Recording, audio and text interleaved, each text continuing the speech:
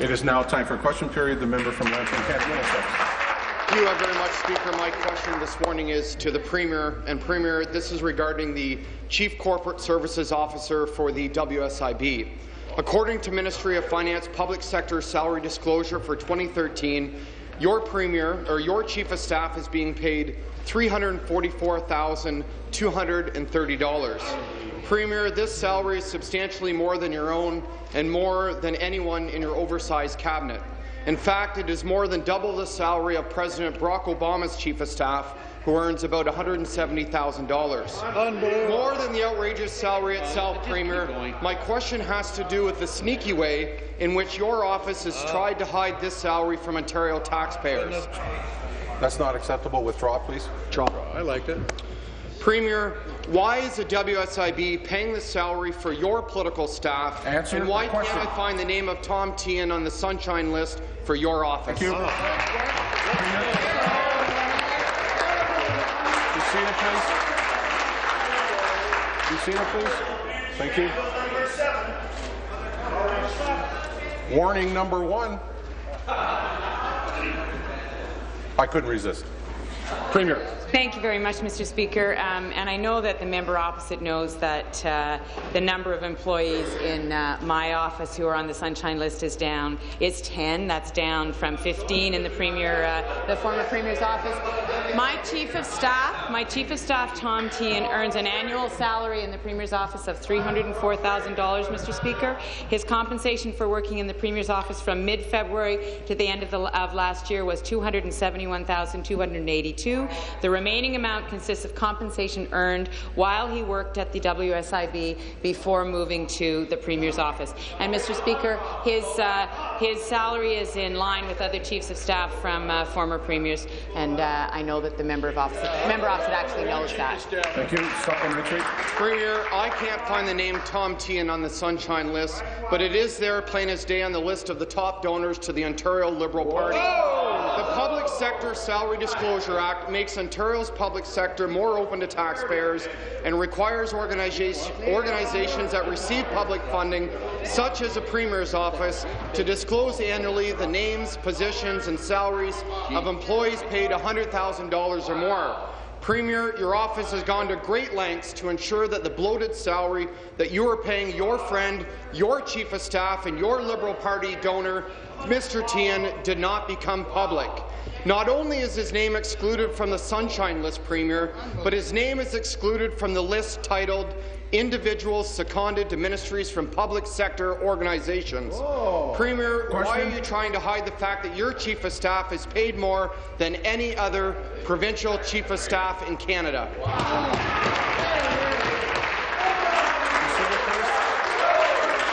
Be seated, please. Thank you. Thank you.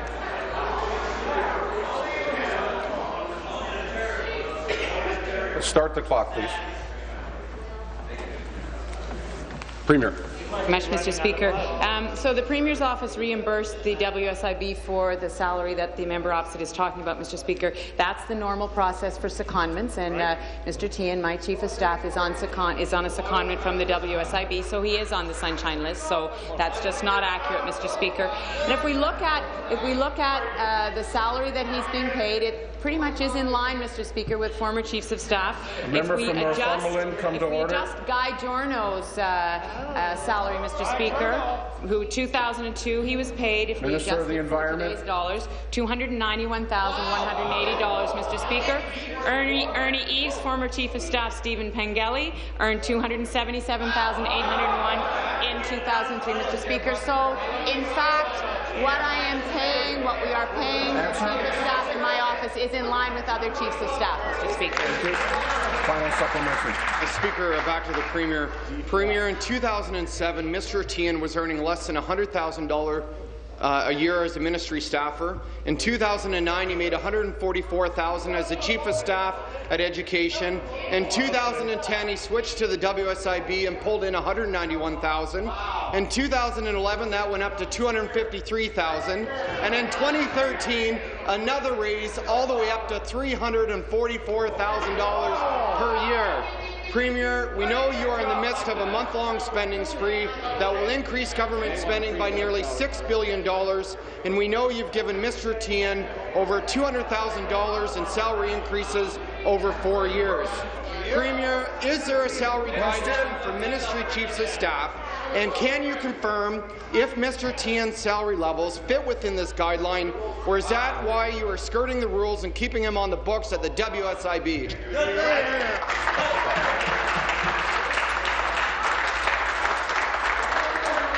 I, uh, I, I find this uh, I, I find this a little odd. The member from Chatham, Kent, Essex. In case you didn't hear me, I find this a little odd that I'm actually asking the members of the person putting the question to tone it down because I was having a hard time hearing the question. I uh, I don't need I don't need editorials. Premier. Thank you very much, Mr. Speaker. So, as I have said, um, my Chief of Staff is on secondment from the WSIB. His salary is in line with former Chiefs of Staff, including former Conservative. He is on the Sunshine List. He's on the Sunshine List, Mr. Speaker. And, Mr. Speaker, he has taken on increased responsibilities uh, since he came into this job. And, Mr. Speaker, as I said before, there are five fewer people in my office who are on the Sunshine List than under the previous Premier's office, Mr. Speaker. I, I'm not exactly sure where the music is coming from, but it's going to stop. And I'm going to tell the minister responsible for seniors, as I do often, I will be the judge. So let's uh, let's bring it down. Finish, please. Speaker, I would just say that, you know, this, I understand that this question is in line with the opposition's desire to drag people who are working very, very hard, to drag their names through the mud, Mr. Speaker. I, I take full responsibility for answering questions for my actions and for the government's actions, but I think that this is beneath the member opposite, Mr. Speaker.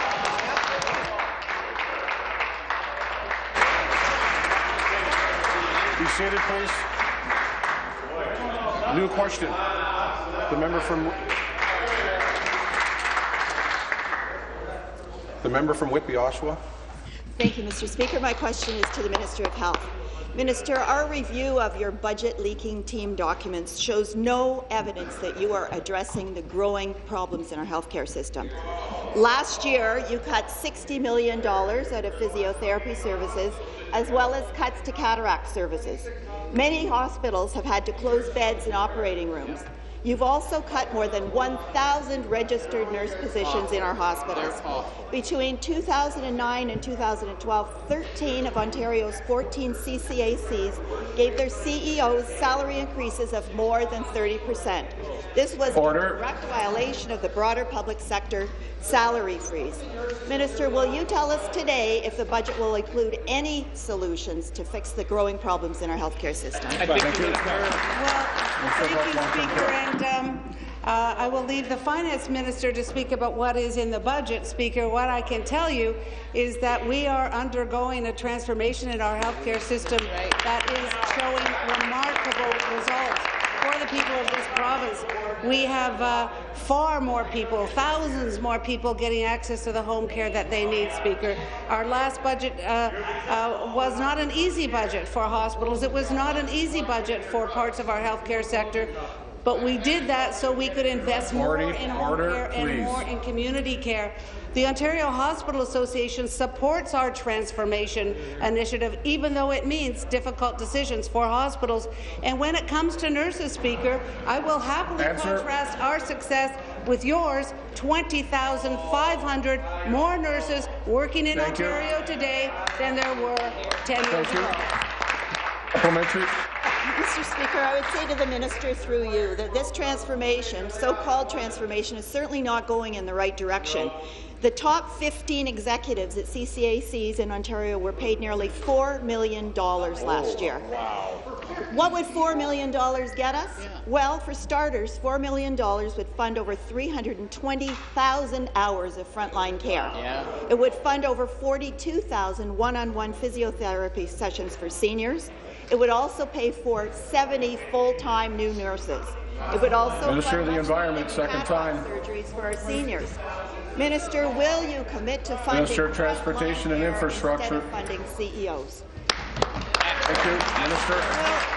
Uh, Speaker, I think it's maybe time to look at what the PC plan for healthcare is in this province. And I, I can tell you, they, they can, they can, The member from Burlington, the member from Cambridge, the member from Prince Edward Hastings, the member from Northumberland. I, I, I just don't think shouting people down is the right thing to do. Carry on, please. Uh, Speaker, the PC plan for health care is risky. It is Member from Halton, It is come to the order. wrong plan. It is clearly the wrong plan.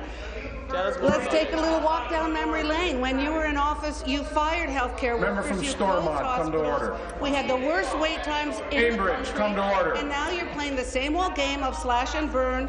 You want to fire 4,000 frontline Answer. healthcare workers by eliminating our CCACs. Those are the people who make sure our seniors get the care they need Thank in you. their own homes. Thank you. Final supplementary. I would certainly be happy to put our health care plan up against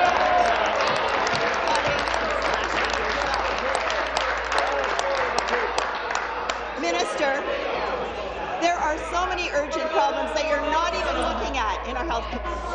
Stop the clock. The member from Glengarry Prescott Russell is close enough for me to see him as well as hear him. The member from uh, North, North, the member from Simcoe North is not helpful either. Please ask. Let's look at what's actually happening under your system. We've got 19,000 seniors in hospitals waiting because they have nowhere to go. They have no long-term care to go to. They have no home care services. We have thousands of people who can't get access to needed cancer drugs because you will fund IV cancer drugs, but you won't fund oral cancer drugs. We need we have seniors that are in home care that aren't getting more than a bath a week. We have people in long Stop the clock. Um, I'm going to get. I'm going to get you to listen. The member, the, the minister for uh, infrastructure and transportation, come to order. The member from Sudbury, come to order. The member. Oh, jeez. Next time, please. You're actually making cuts across the board without even coming to grips with the bigger problems in our healthcare system. Question. Will you deal with this in the budget or not? No, I don't think we're going Be seated, please. Be seated, please. Minister.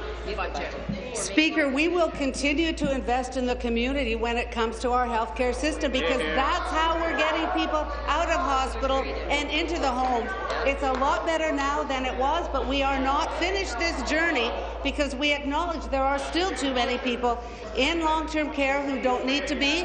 There are still too many people in hospital and they don't need to be. That's why we're investing in home care. That's what we are all about. We went from the longest wait times in the country to the shortest wait times in the country. We went to a healthcare system where it was impossible to find a primary care doctor to one where in many communities doctors are now advertising for patients. We have come a long, long way. I will happily, happily put our record against their record every day of the week. Thank you. Be seated, please. Be seated, please. Thank you. New question, the leader of the third party. Uh, thank you, Speaker. My uh, question is for the Premier. Yesterday, the Minister of Government Services insisted that he knew nothing about an internal investigation conducted by the Ministry of Government Services. Was the Premier briefed on the investigation, Speaker? Thank you, Premier. Mr. Speaker, again, uh, we have uh, we've made it clear when we learned about investigations. We made it clear when we uh, learned about the allegations, and uh, we have we have done everything in our power to uh, to work with and cooperate with uh, the people who have been asking questions about the relocation of the gas plants. We have changed the rules around the retention of documents, Mr. Speaker. We have opened up the process, and as the as the member knows, we've been very clear about when we learned about the allegations, and we learned about them when they came into the public realm, Mr. Speaker. Thank you. Supplementary. Well, Speaker, can the Premier perhaps tell us who was briefed on that internal investigation? Premier, Services. Government Health, uh, Government Services. Again, Mr. Speaker, the Leader of the Opposition can ask whatever question she wants, but considering the fact we went over this yesterday, I would have thought we might have heard uh, some policy questions. But to, to tell her again, Mr. Speaker, uh, the fact that the Ministry of Government Services uh, cooperated with the Ontario Provincial Police is something that is outlined in the document that was there in the court. Uh, as I uh, indicated yesterday, I had a discussion with my Deputy Minister of, of the day, a very brief discussion, where he spoke about the fact that uh, uh, there, as it was a matter of public record, there was an OPP investigation and that uh, they were in contact with the OPP. Did I want to be briefed in any way? And I said absolutely not. I did not want to have any discussions with myself or my staff, and the ministry respected that, Mr. Speaker. And the work that went on by uh, MGS is outlined uh, to an extent in the document before the court, which is now a public document. Final supplementary. Speaker, back to the Premier. Was anyone in the Premier's office briefed on the internal investigation in any way? Mr. Speaker, again, uh, if, if, if I reference the court document, which talks about some of the assistance that the OPP received from the Ministry of Government Services, and it was made clear to my deputy that this was to be done independent of uh, the political, my, myself or my political staff. And Mr. Speaker, again, I think we have to stress that this investigation is entirely independent. I think it is now a matter of public record that OPP investigators have been working with a federal Crown attorney from the Public Prosecution Service of Canada to ensure its independence. Mr. Speaker, we have heard from the OPP uh, in front of the committee, and they have reminded us that the best way to deal with an OPP investigation, if you're a politician, is to get out of the way, allow the OPP to do their work, and respect their independence and also their privacy as they Thank you. undertake this work. New question, the Leader My of the next Third question Party. is for the Premier, Speaker. Last November, the Premier's office scheduled a visit from the OPP anti-rackets branch. When most people hear the police want to search their offices, they ask, why, Speaker? Did the Premier or her staff ask any questions about what was being investigated? Premier. Mr. Speaker, I will just say again what the uh, what the uh, Minister of Government Services and the House Leader has said that this is an independent investigation, Mr. Speaker. And the, you know, it seems that the member opposite is trying to, the leader of the third party is trying to suggest that I should have inserted myself at some point into the investigation. That would have been inappropriate, Mr. Speaker. That is not what a premier should do. It is not what I should have done. It is not what I did, Mr. Speaker. I have not inserted myself. It is an independent uh, investigation, and we need to let the OPP do their work, Mr. Speaker. Speaker, the OPP alleged that three staff in the Premier's office had their computer hard drives wiped. They also allege that the House Leader's Chief of Staff had her computer wiped. Is the Premier asserting that for well over a year, not one of these people, who she works with daily, ever raised this issue with her? Minister of Government Services. Minister of Government Services. Mr. Speaker, again, let's go back to first principles. The OPP uh, made an application to the court which was made public.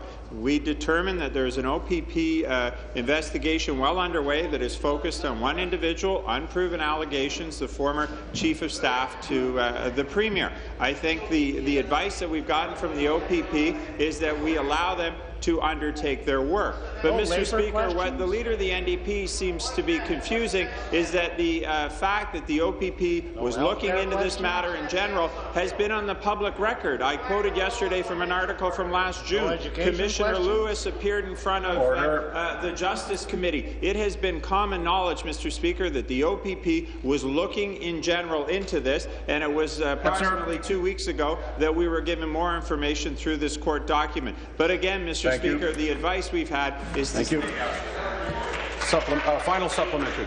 Government conducted an internal investigation, but we're told the Premier doesn't know what it found. The OPP searched the Premier's office, but supposedly the Premier didn't even ask what they were looking for. People stuck paying the bills for this mess haven't forgotten the Liberal record speaker when it comes to this scandal. Liberals initially claimed it was going to cost $40 million. Now we know it's 1.1 billion. The Premier claims she wasn't involved in the decision. Investigation. But then it turns out she's the one that signed the cabinet document approving the deal. Does the Premier think that people will believe she knew absolutely nothing about any of this investigation? You know, Mr. Speaker, I, I listened very, very carefully to what the leader of the New Democratic Party said, and quite frankly, I find it shocking. She seems to be suggesting that the government should be directing the Ontario Provincial Police, that the government should somehow be involving itself in an OPP investigation. Well, I'm not sure how she plans to uh, to, to run her party, Member Mr. from Speaker, Hamilton but East, over on this Creek. side of the House, we respect the independence of the Ontario Provincial Police. When there is an OPP investigation going on, we first of all cooperate fully, but second of all, Mr. Speaker, we get out of the way and I allow them to undertake their work. As the investigator reminded us at committee the other day, interference by politicians, the type of interference that we're seeing today through a question period could in fact jeopardize that investigation, Mr. Speaker. Answer. The third before us, Mr. Speaker, is to allow the Ontario Provincial Police to undertake Thank their you. work. New question, the member from Stop the clock. Uh, I'm, I'm hearing some heckling that I'm not impressed with, and it'll stop. New question, the member from Newmarket Aurora. Thank you, Speaker. My question is to the Minister of Health. Speaker, I received an email yesterday afternoon, and I want to put it on the record. On behalf of the pilots flying for our air ambulance service out of the Moosonee base, it reads as follows. This email is being forwarded to you on behalf of the pilots. Minister without portfolio will come The to bottom line is that the helicopter that Ornge is planning to send to Moosonee for the operational helicopter is basically the oldest Sikorsky 76 in the world, with the least amount of automation. This after the only helicopter fatality in 35 years occurred in Moosonee, and Ornge promised to do everything to make our lives safer. Yet the bottom line is, they are sending this machine because it is the cheapest to operate. Help us make the ministry wake up that Ornge can't operate aviation. Speaker, this appeal is coming from the frontline pilots of our air ambulance service whose lives are once again being put at risk by the decision-making at Ornge.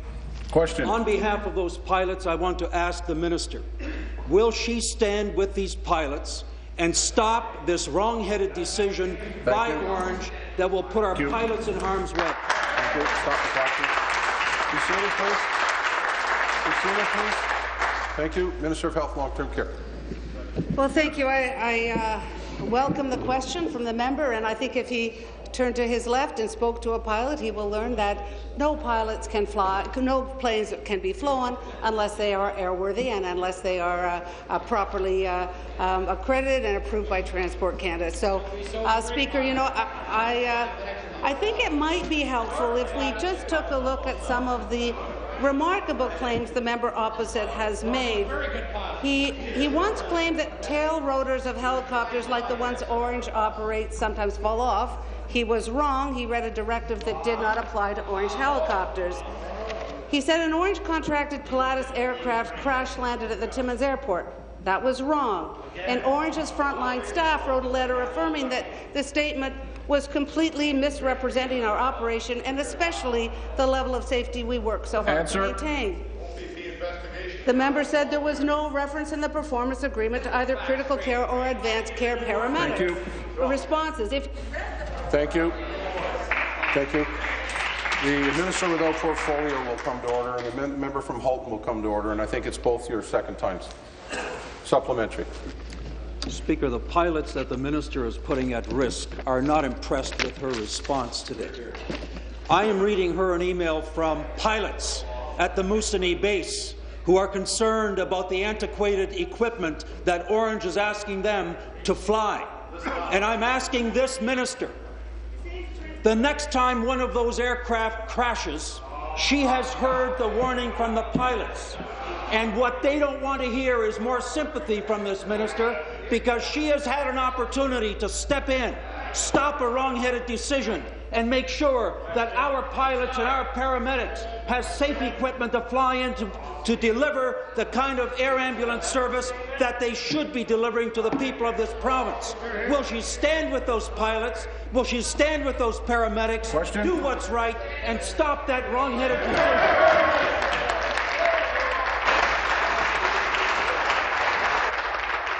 Please. Thank you. Minister. He's challenged. Speaker, the member opposite knows that we have strong safety standards in Canada and at Ornge. But let's go on, Speaker. Uh, the member claimed member that from Ornge hit the Northumberland will come salaries of 79 employees.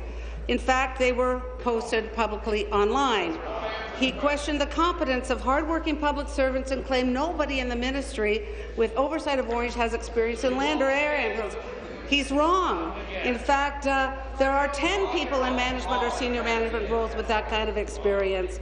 Speaker, he claimed that the front lines are saying things are going from bad to worse. In fact, we had uh, Brandon Danhoff uh, at Scopa. He said that things at Ornge are under the new leadership are definitely better. He claimed that two Transport Canada inspection reports suggested that Ornge should not be in the aviation business.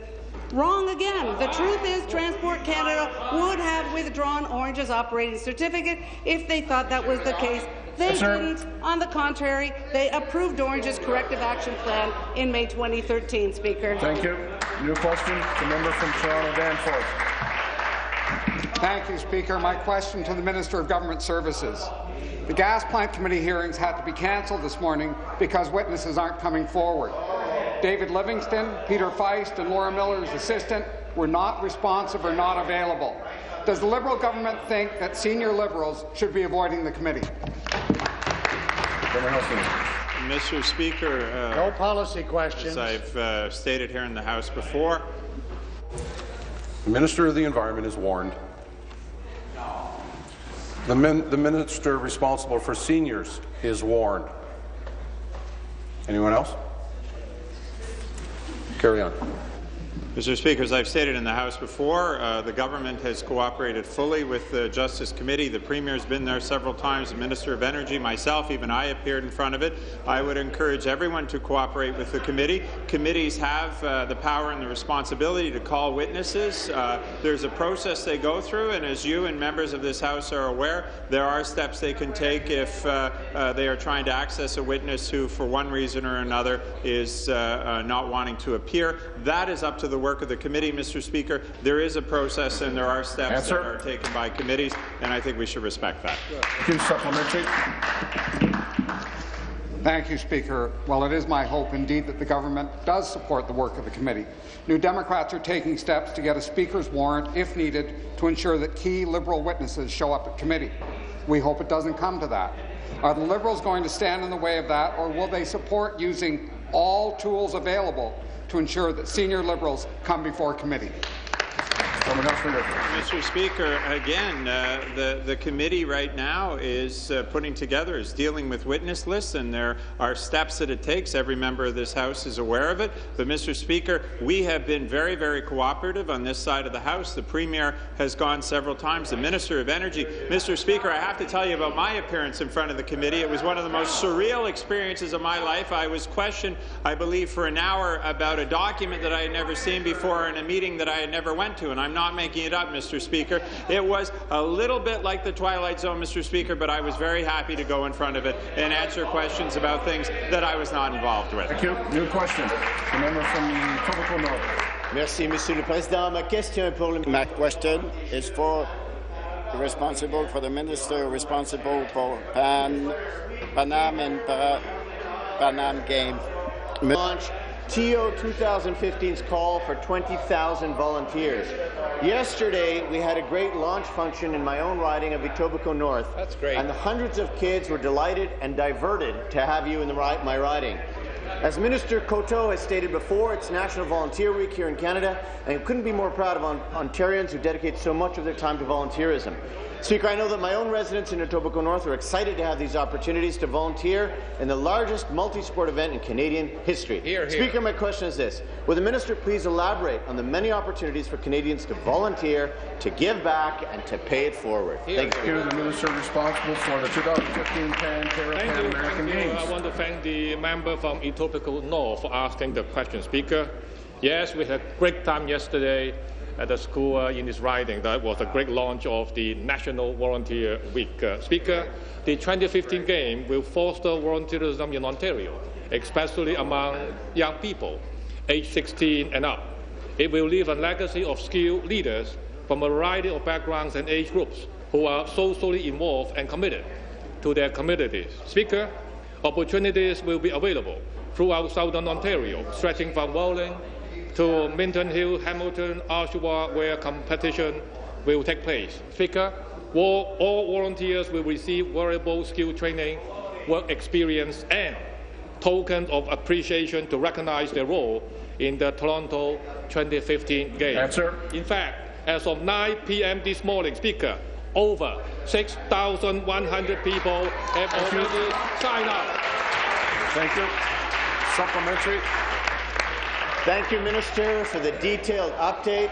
It strikes me that this is like the Volunteer Measures Act, the largest call for volunteers in Canadian peacetime history. That's great. I can see, Speaker, in my own community of Etobicoke North, the interest to volunteer for the Games, despite The member from Bruce Grey, detracting Owen Sound, come to party's order. The member from North Another Thornwood, come benefit to that order. parties Last opposite time. may be overlooking, Speaker, are the announcements that you have made earlier this year, uh, Minister Chan, along with Minister Duguid, that help OSAP recipients and trade apprentices take advantage of opportunities that the Games begin. Bring. Speaker, would the minister please elaborate on the many benefits of hosting an event of this magnitude? Great question. Thank you, Minister. Speaker, all Ontarians stand to benefit from the opportunities the game will bring next year. Amongst them are people like Tyrone Solomon from North York, who is helping to build a Pan Am Aquatic Centre. He says, when I tell my family where I am working, they are so proud of me. Janet Lawrence from Hamilton, who will be volunteering in her third world-class athletic event, she says, it is an experience you can put a dollar amount on. Even Olympic hockey gold medalist Natalie Spooner has signed up. The member from Bruce Grey Owen Sound is warned. Finish, please. Speaker, Natalie said, by volunteering myself for TO 2015, I am saying I believe what these games can do for all of us. Speaker, I encourage Answer. all members in this House to sign up. Thank you. Your question, the member from Nipissing. Uh, good morning, Speaker. My question is for the Premier. Premier, the uh, gas plant scandal documents proved that you signed the go-ahead for Project Vapor. This started a process that wrote a blank check in order to reach a deal. This moved it from the public court system into private arbitration where the proceedings and the results would be kept secret. In order to reach an agreement, the Liberals waived all of their defences and gave up any limits on damages. Then you put most of the cost on the hydro bill while only talking publicly about the much smaller taxpayer portion. Premier, how can you continue to pretend you knew nothing of the gas plant cancellations when it was you and you alone who started Question. the entire process? Be seated, please. Be seated, please. Thank you. Premier. Thank you very much, Mr. Speaker. I think that's the biggest stretch we've heard in this uh, discussion so far, Mr. Speaker. Um, just, so the member opposite knows full well that I was part of a cabinet that made decisions, Mr. Speaker. The member from Lambton, Kent, Middlesex will come to order, and he's now warned. No, three times. Carry on, please. Well, Mr. Speaker, the, the member opposite knows that I was I was part of a cabinet that uh, made a decision based on a commitment that we had made to uh, relocate the gas plants, a commitment that had been made by all parties, Mr. Speaker. We acted on that commitment, Mr. Speaker. We went ahead and we uh, relocated those gas plants. And I have said repeatedly that there were processes that uh, that should have been better. We have worked to change those processes, Mr. Speaker. We've put in place new Yes, rules in terms of citing this kind of infrastructure. We've got new rules in terms of document retention. That is the work that we've been engaged in for the last year, Mr. Speaker. Thank you. Supplementary. Thank you, Speaker. Premier, I'm quite surprised that you're questioning the results of the Auditor General, which I just read in my last question. But what I outlined is exactly why David Livingston is alleged to have had the hard drives in the Premier's office wiped. The Liberals stayed in power because of the manipulation of the gas plants. You're the Premier today because the last one quit in disgrace over the manipulation of the gas plants. Many of your cabinet ministers stood in this House and said one thing about the gas plants, knowing the complete opposite to be true, and seven of them have since bailed. But you think of your own self-interest so much that you can no longer see right Question. from wrong. Premier, how about this? Why don't you name the members of your transition team who had interaction with David Livingston between January 26th and February? Thank you. Stop the clock, please. Please. Please. Thank you.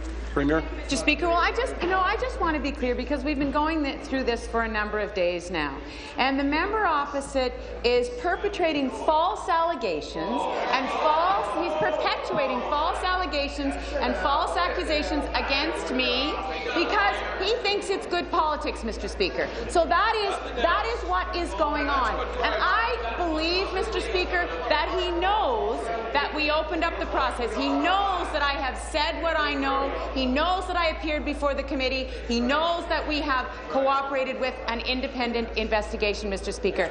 I believe that this kind of questioning actually insults the office that he holds, Mr. Speaker, and I would ask him to stop. Seated, please. Be seated, please. Be seated, please.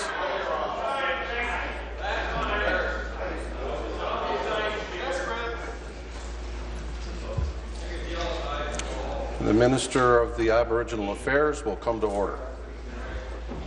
And no other comment need be made.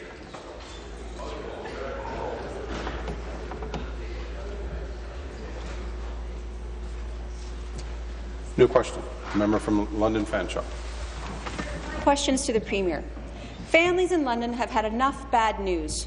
Over the past year, London has lost 7,200 jobs. Our unemployment rate has climbed above 8 per cent, and the usage of the food bank continues to rise. The London Food Bank announced today that a new approach is needed. They serve almost 3,600 families every month and simply stated they are just stretched to the limit. It's clear to everyone that the status quo approach the Liberals have taken just doesn't work.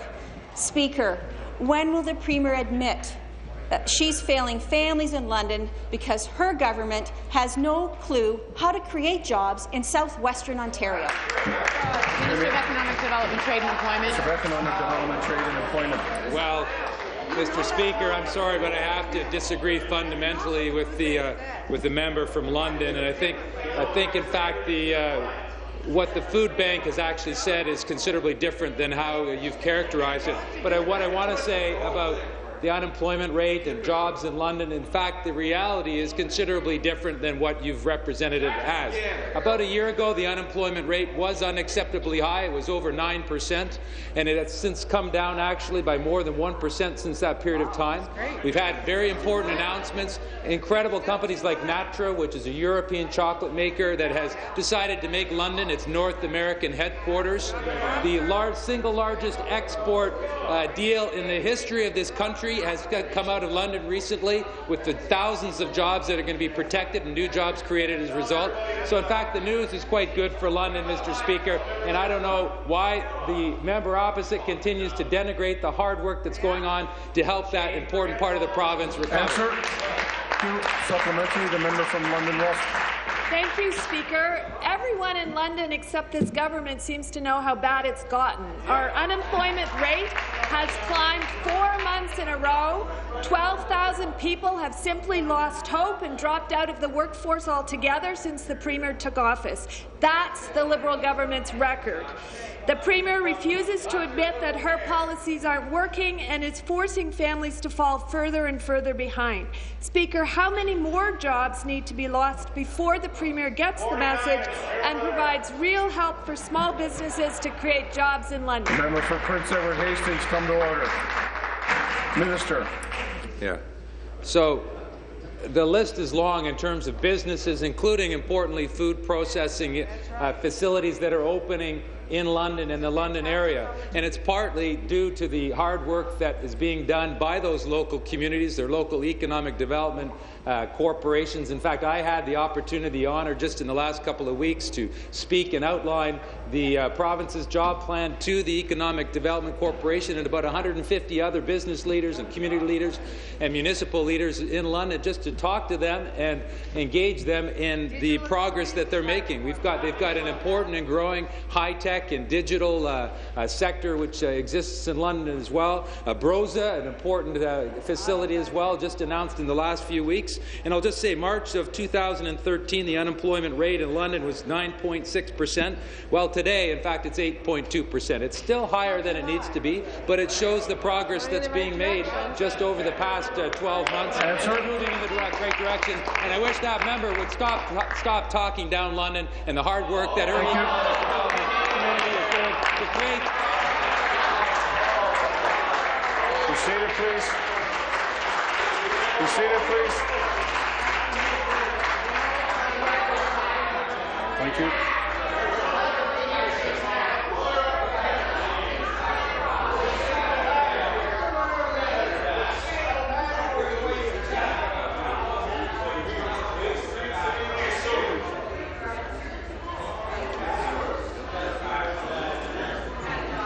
No question. The member from Scarborough Agincourt. Thank you, Speaker. My question is for the Minister of Children and Youth Services.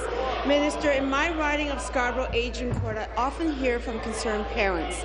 They want to ensure that children are getting the best possible education and have the greatest opportunity to succeed. Research has shown that an important part of a child's ability to learn is having access to a nutritious diet. Children who eat regular, healthy meals are better participants in the classroom.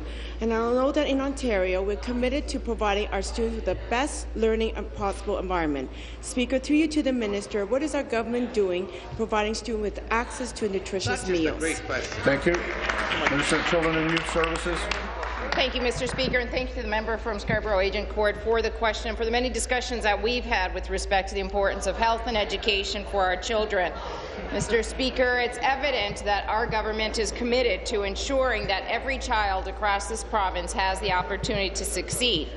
We know that nutrition plays a role for success in school and keeping children healthy.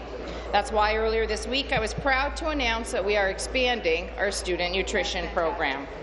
We're investing an additional $32 million over the next three years to provide students across the province with nutritious snacks or breakfast. This is expected to create 340 new breakfast and morning meal programs and benefit an additional 56,000 students. I've spoken with teachers, principals, and students about the progress. They all report positive outcomes, including better concentration in school. This investment is just Thank one you. more way our government is. Investing. Thank you. Supplementary. Minister, for that answer. Parents in my community would be pleased to hear that our government is expanding the student nutrition program. And I know that in my riding, the Toronto Foundation for Student Success operates a number of nutrition programs. I also know they do a terrific job of providing student nutrition across the City of Toronto. I'm happy to hear that we're providing additional funding to organizations like them to expand the service they currently provide. The student nutrition program is a great way to ensure that students from across the province can maintain a nutritious diet. Speaker, through you to the minister, can she please inform the House how this new investment will provide This the program great, great to become program. more responsive to the needs of our communities? Thank you. Thank you. Minister? Yeah. Absolutely, and again, thanks for the continuation. So there are currently 4,200 student nutrition programs across the province. These programs provide nutritious breakfast, snacks, and lunches to over 695,000 students across the province. We recognize that the cost of food continues to grow, so this enhancement in funding will help our communities with those food costs as well. We'll also be expanding the program for First Nations schools on reserve, which we heard we need to do. Expanding this program is part of our plan to support our children and our future, because we know that students who eat a nutritious breakfast are more likely to attend school and achieve better academic results. We'll continue to invest in our children and youth to ensure success, opportunities, and healthy living. Answer. Thank you. New question. The member from Dufferin Caledon. My question is to the Minister of Finance. Minister, as you are no doubt aware, cider sales are experiencing huge growth in Ontario, having grown by an astonishing 60 per cent in the last two years, very similar to the growth that we've seen in the Ontario craft brewers. Ontario Craft Cider Association members use 100% Ontario-grown apples and pears, which ensure both quality product and more economic Ontario opportunities for our growers. Minister, will you level the playing field to ensure that Ontario cider can be sold to restaurants and bars with no LCBO surcharge on direct deliveries, as is the case for Ontario craft beer? Thank you. Minister of Finance. Mr. Speaker, I am very proud of uh, the tremendous work done by our local growers and local craft brewers, including our cider. Yes. I know that one of our colleagues, uh, the Minister then of Agriculture uh, in, uh, in, where are you now? What was Minister, uh, well, Ted McMeekin, I know we're not supposed to name names, but a big advocate for cider sales, and I really appreciate the tremendous work being done by the community, locally grown, as is our VQA, as is our barley, as is so much of the industry throughout Ontario to support the to support growing in Ontario, processing in Ontario, and selling in Ontario, and certainly through the LCBO, much of that is being promoted and protected, especially for our craft brewers. Thank you, Mr. Speaker. Thank you. Supplementary. Minister, I'm proud of our Ontario ciders too, but you need to actually show some leadership and do something that they need to level the playing field. It's an issue of fairness and where you could show some real leadership. Ontario cider is an industry that is thriving in many parts of Ontario. Dufferin Caledon, Bruce Grey Owen Sound, Haldimand Norfolk, Hamilton East, Stoney Creek, Lambton Kent Middlesex, Huron Bruce, Niagara Falls, Oak Ridges Markham, Prince Edward County, S- Toronto Centre, Simcoe Grey, not to mention the many regions across Ontario where apples and pears are grown. People are looking to you for action. When cider producers sell and deliver their products directly to restaurants, the LCBO take a 40% cut. Will you take Question? action and remove it? Yes, they are. Thank you. Minister of Finance. Mr. Speaker, on this side of the House, we certainly value and promote uh, locally grown opportunities. It is why we have increased access to our express stores most recently. It is why we're doing more to promote our VQAs, our craft breweries, and our cider sales, Mr. Speaker. And I, I appreciate the question. I really do. I really do because I think it's essential that we do everything we can to promote our industry. And we want to make certain that our local growers are getting the maximum benefit afforded to them, which they wouldn't have had, Mr. Speaker, had it not been for the proactive nature that the LCBO has been doing to promote the industry. We'll continue to work with them, and I appreciate the question, and I'll look into it certainly. Thank you, Mr. Speaker. Thank you. New question. The member from Windsor-Tecumseh. Thank you, Speaker. My question this morning is for the Premier. Good morning, Premier. The racetracks at uh, Leamington, Sarnia, and Dresden will receive fewer race dates than they requested for the 2014 season. As you know, the Lakeshore Group has been working to keep racing alive in Essex County since the demise of Windsor Raceway and the loss of 2,000 jobs. The cut in dates from 60 to 45 is yet another indication that this government has no intention of supporting the horse racing industry in rural Ontario. Yes.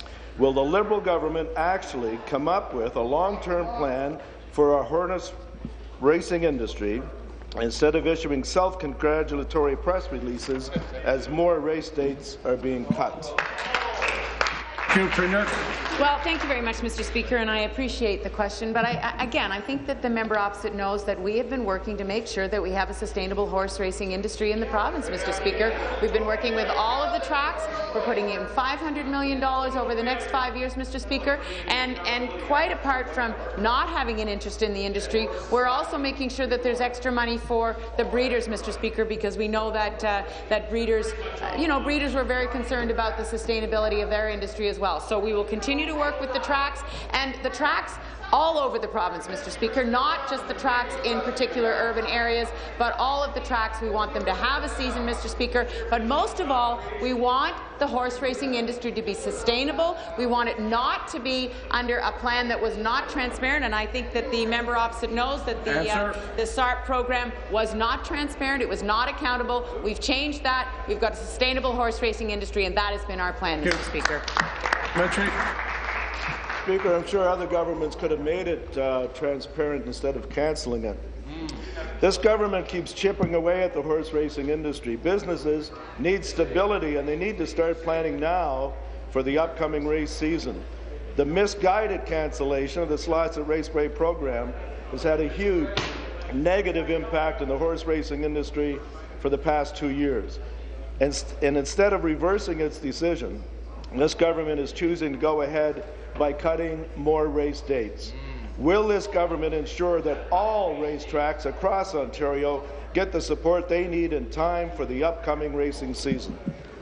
Premier. Mr. Speaker, if the member opposite is asking whether we will bring back a program that really was not transparent, was not accountable in any way, then no, we will not do that, Mr. Speaker. I know that the three tracks, uh, the Hiawatha, Leamington and Dresden tracks, they're working together to come up with a plan. This is good news. That's, that's what we want to have happen, Mr. Speaker. We want those, uh, those collaborations to happen so that there can be a sustainable path forward. That's what we're encouraging. That negotiation is ongoing, Mr. Speaker, and I think the I think that the member opposite knows that, and I don't really think he thinks that we should go back to a system that was not accountable for the tax dollars, Mr. Speaker. I don't think he I don't think he believes that's the case. New question, the member from Scarborough-Guildwood.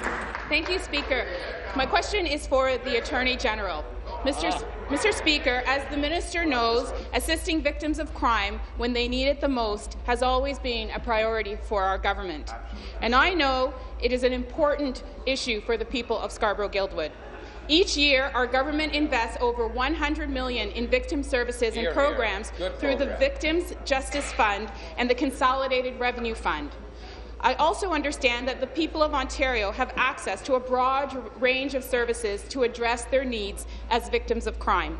Mr. Speaker, could the Attorney General please elaborate on these important services our government offers to the people of Ontario? Attorney General.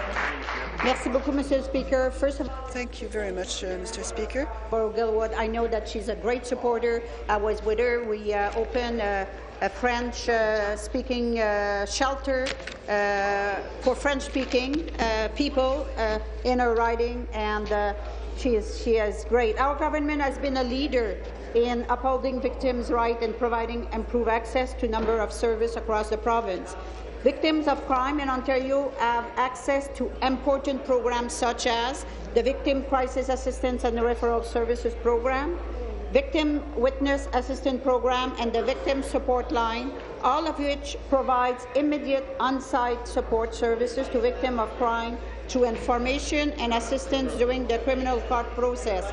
So, Mr. Speaker, these are just a few examples of uh, exceptional services our government has made available to victims of crime to assist them in their time of need. Thank you, Mr. Speaker. Thank you. Supplementary. Thank you, Mr. Speaker, and thank you, Attorney General, for your answer and for your support uh, of the uh, Francophone community in my riding of Scarborough-Guildwood. Mr. Speaker, the, the people of Scarborough-Guildwood would be relieved to hear of the important services our government is providing to victims of crime. I also understand that this morning we recognized a group of outstanding individuals involved in frontline care of victims. The Victim Services Award of Distinction is an annual ceremony in which the Attorney General presents awards to individuals or organizations that have made significant contributions to the provision of victim services in Ontario. Mr. Speaker, could the Attorney General please tell us more about these leaders in victim services? Attorney General. Mr. Speaker, I was very impressed this morning, you know, with uh, with these people that work days in and days out, you know, to help those, uh, to use their own experience to help those uh, who are in a similar situation. I, I am pleased to hear of the important services our government is providing for victims of crime, and uh, I, uh, you know, um, uh, this morning we have all these wonderful 19 recipients, and they have been nominated for this award because they raise the profile of victims' issues in Ontario, volunteers, uh, volunteering countless hours of their time and delivered exceptional uh, services in innovative ways to better serve victims of crime. I want to thank all of them and their own family who helped them to be uh, able to uh, work as volunteer in their own community. They gave, uh, you know, great commitment, tireless work and commitment, and it is because of their work that Ontario is a leader in uh, victim you. service delivery. Thank you, Mr. Speaker. Thank you. New question, the member from Simcoe Grey. Thank you, uh, Mr. Speaker. Uh, my question is to the uh, Minister of Health and Long-Term Care. Minister, I've raised this issue with you before about the ongoing funding challenges facing the Collingwood General Marine Hospital. I explained that as per a key outcome of their 2012 sustainability review, they were promised gap funding for three consecutive years, while the new health-based allocation model is rolled out. Well, Minister, it's now April. The fiscal year has come to an end. The new funding model hasn't been fully implemented. The hospital hasn't received this funding, and without it, they face a $1.8 million deficit and will be forced to drop a core service. Last year, there were 476 expectant mothers that gave birth at this hospital, 1,071 ski accidents that got treated in the emergency room, 1,193 hip and knee orthopedic surgeries. So, Minister, my question is quite simple. Which of these, without this funding, question. which of these core services should the hospital no longer provide? Thank you, Minister of Health and Long-Term Care. Well, Speaker, as, I, as I, I, said earlier today, we are in, uh, in the middle of a transformation in our healthcare spending. As I acknowledged earlier today, it is a difficult time for hospitals as they accommodate, as they rethink their services through, as we uh, as we make sense out of how hospitals are funded. As you, as a former health minister, would well know, before we introduced our new funding reform for hospitals, it was impossible to explain why the budget for one hospital was what it was relative to another. So we're bringing some uh, uh, some some uh, sanity actually to how we fund hospitals. For some hospitals, that means an increase in budget. For others, it means a lower budget. We are implementing this over time. Hospitals are well aware of what their allocations will be under Answer. the new uh, uh, funding model, and we're working with all the hospitals to do this in a way uh, that protects patient care. Thank you. Supplementary. Well, uh, Minister, certainly uh, through you, uh, Mr. Speaker, I think we've indicated many times on this side, for the most part, we agree with the new HBAM funding model. But the point here is Collingwood General Marine Hospital was given a, a letter from your ministry indicating that it would get three years of gap funding. And so it budgeted accordingly. It didn't get its funding, and I got a letter from you suddenly in December of last year after I perpetually raised this thing, saying that the LHIN has asked for you to make a decision on this gap funding, second year of gap funding, and that you're reviewing it. Uh, we hear from the LHIN recently that you're going to renege on that promise. And, they, and they, they've already gone to the four mayors in, in the Collingwood area, Wasaga Beach and Clearview, and throughout the area, and uh, they want to come down and see you because of a broken promise. It's a relatively small amount of money. The hospital budgeted based on your commitment, your government's commitment. Question. And they are going to cut patching people up on the ski hill, births, or, or hips and knees. That's what they're telling the community, and it'll be on Thank your you. head. So what is it? What are they supposed to cut in order to... Thank you. You not fulfilling your promise. Uh, well, Speaker, I would be happy to meet with them if, uh, uh, if that's uh, what they'd like to do, and we will go over the, uh, uh, what's happening at that particular hospital.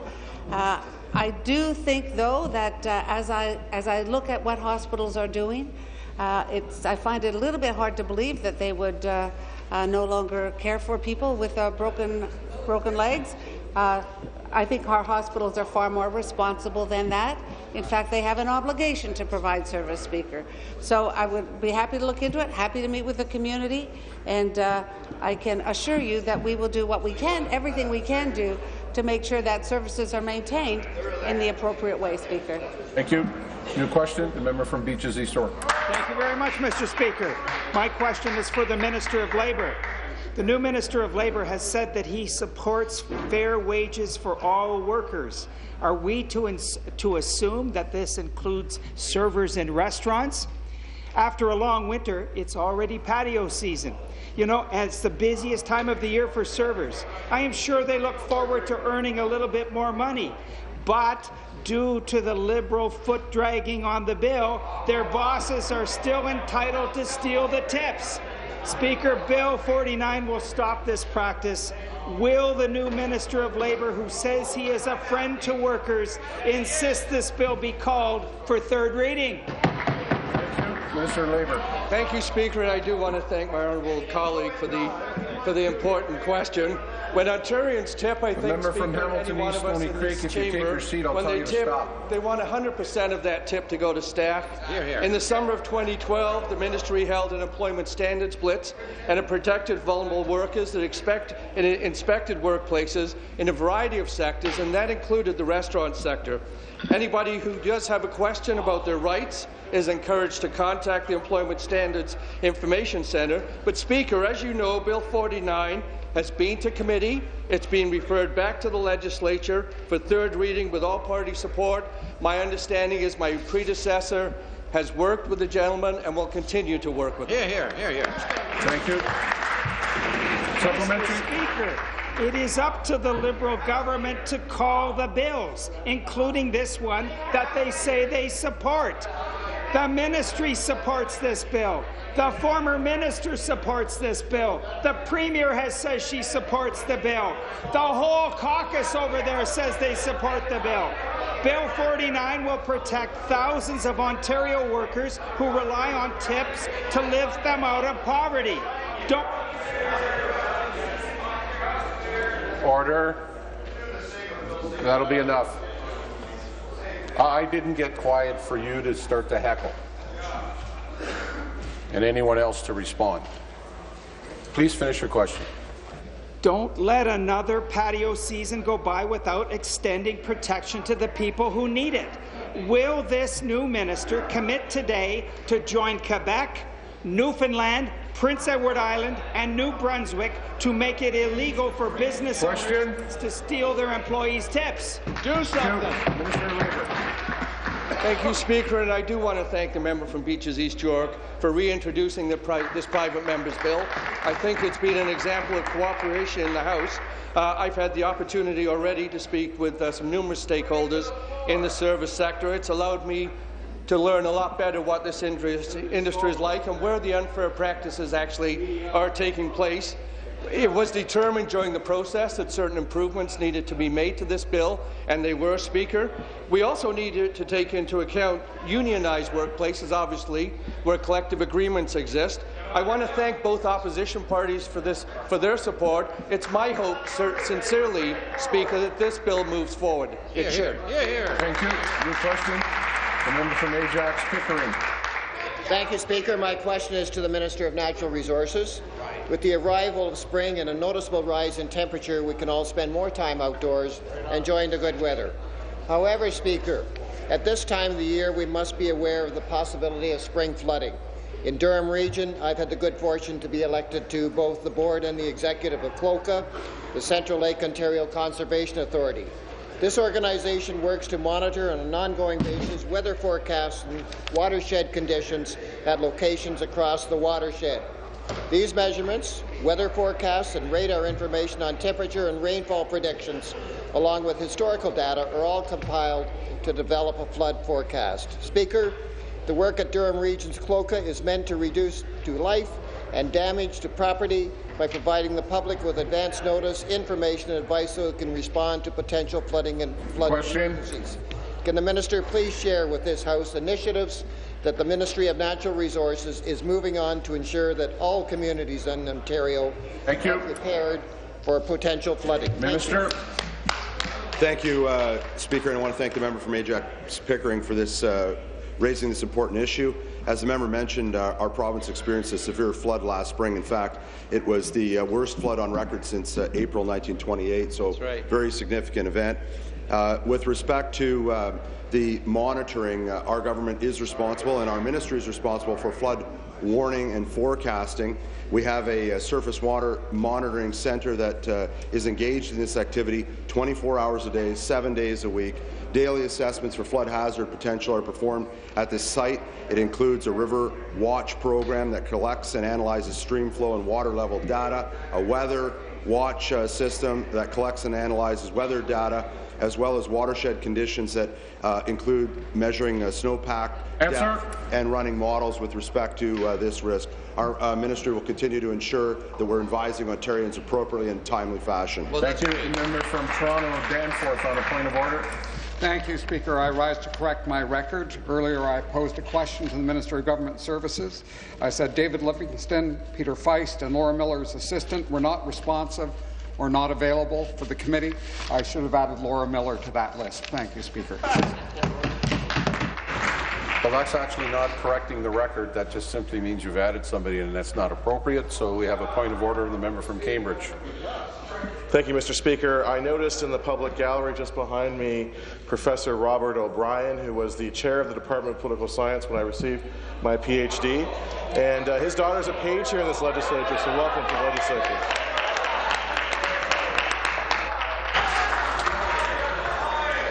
I, uh, I suspect that's going to invite an awful lot of comments, but we'll not be making them. The, the uh, Minister of Training College University, in a point of order. Visitors Gallery today is Emily Hedges. She's my Director of Communications, and after many years of loyal service, she's moving on today. It's her last day on the job. We're going to miss her. The member from Scarborough-Guildwood on a point of order. Speaker, um, I wanted to acknowledge that, that today we were joined by a member from my riding of Scarborough-Guildwood, Mr. Bagat S. Taggi, and uh, his guest from, uh, from England, Ravi Bakari, who is a city councillor who joined us today. Thank you. I beg to inform the House that pursuant to Standing Order 98C, a change has been made to the order of precedence on the ballot list for the members, the private members' biz, uh, public business, such that Mr. Walker assumes ballot item number 55 and Mr. Smith assumes ballot item number 12. There are no deferred votes. This House stands recessed until 1 p.m. this afternoon.